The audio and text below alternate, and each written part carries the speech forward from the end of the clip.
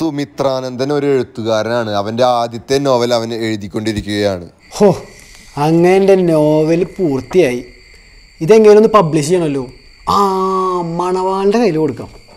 സാറേ. സാറേ ഞാൻ ഒരു നോവൽ എഴുതിണ്ടായിരുന്നു അതെങ്ങനെയും ഒന്ന് പബ്ലിഷ് ചെയ്യാൻ വേണ്ടിയിട്ട്. പബ്ലിക്കേഷൻ വരെ നടക്കില്ല. നമ്മളൊക്കെ നിർത്തി കുറച്ച് കാലം സാർ എന്റെ ഒരുപാട് നാളത്തെ ആഗ്രഹമാണ് സാർ ഒരുപാട് നാളത്തെ അധ്വാനം കൂടിയാണ്. സാറ് വിചാരിച്ചാൽ ഇതൊന്നും നടക്കും. സാർ എങ്ങനെയും ഒന്ന് ശരി. എന്താ നോവലിന്റെ പേര്? പതിവ് തെറ്റിയ കൂലി സാറേ.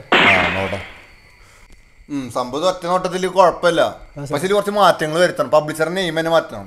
തന്റെ പേര് സുമിത്രാനന്ദൻ അല്ലേ? അതെ. അത് നമ്മൾ സുമിത്ര എന്നാക്കണം അതായത് പതിവ് തെറ്റിയ കുളി ബൈ സുമിത്ര. അല്ലെങ്കിൽ സുമിത്രയുടെ പതിവ് തെറ്റിയ കുളി.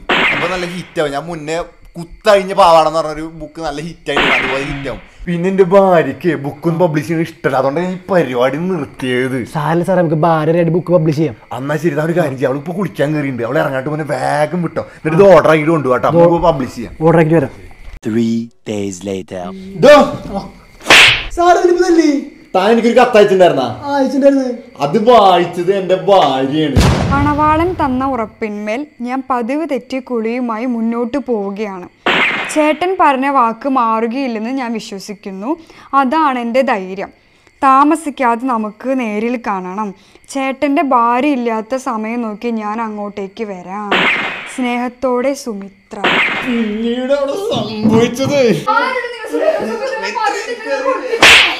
I'm a little bit older. I.